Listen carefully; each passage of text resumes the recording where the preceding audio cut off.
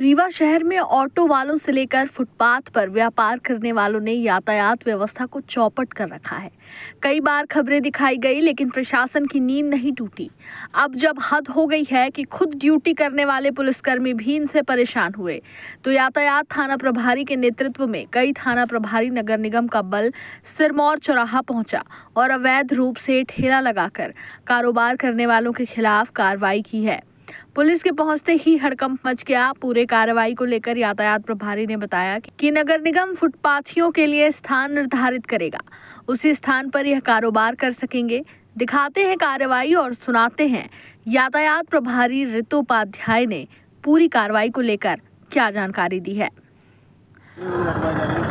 हाँ अतिक्रमण किया हुआ है। कई ठेले वालों ने लगाया हुआ वाहन भी अननेसेसरी खड़े हुए हैं। कई छो, छोटी दुकानें लगाई हुई हैं चप्पल जूते कपड़े वगैरह की।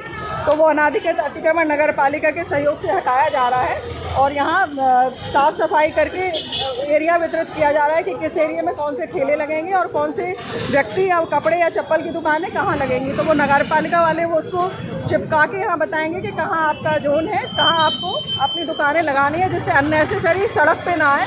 क्योंकि यातायात व्यवस्था काफ़ी बाधित होती है और इससे यातायात व्यवस्था को काफ़ी दिक्कतें होती हैं। हम पुलिस को भी काफ़ी दिक्कत होती है।